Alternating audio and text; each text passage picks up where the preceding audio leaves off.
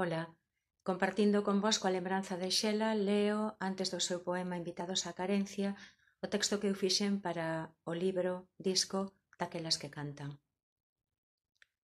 Pero agora estás morta, moito antes de estar morta. Un eu único e imóvil, ao que lastiman luces e algareos, e procuran a noite a paz do olvido. Vaguas de Dona Isabel, Montenegro infeliz, un cabaleiro por un camiño branco, un son burlón de axóuxere. Mara, escrevendo a sós, con fel e sangue, ela, que vai deixar secar todas as rosas.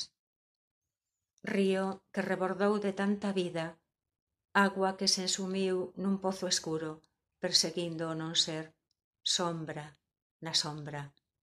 Enxendrarás de novo no silencio entre o rencor e a dúbida, volverás a nacer. Unha indecisa voz pulando do desexo, un alalá ceifando a dor do día. Invitados á carencia. Unha opiácea caricia baixou polo teu corpo espido de metais, aínda embadurnado co tinte dunha extraña que sí, es así, te amara, guardado, sen saberen xamais quen eras ti, ese ti que se achegaba. Unha caricia como a unha serpe. Era a luminotecnia das aceras esa noite que envolta te traía.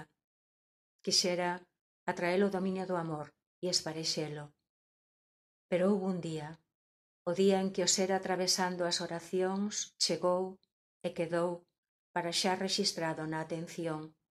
Abrin os ollos empuxadamente fun, invitada ás carencias. Que facer con tan corto reino? Esmorecer non habíamos permitir. Arelo aínda quebrar os ritos dos costumes, odiada cousa que arredor de nós desenvolves tecidos de arácnidos, serpeando cada minuto, esperanza espremida. Farei trago o meu contacto de coñecemento.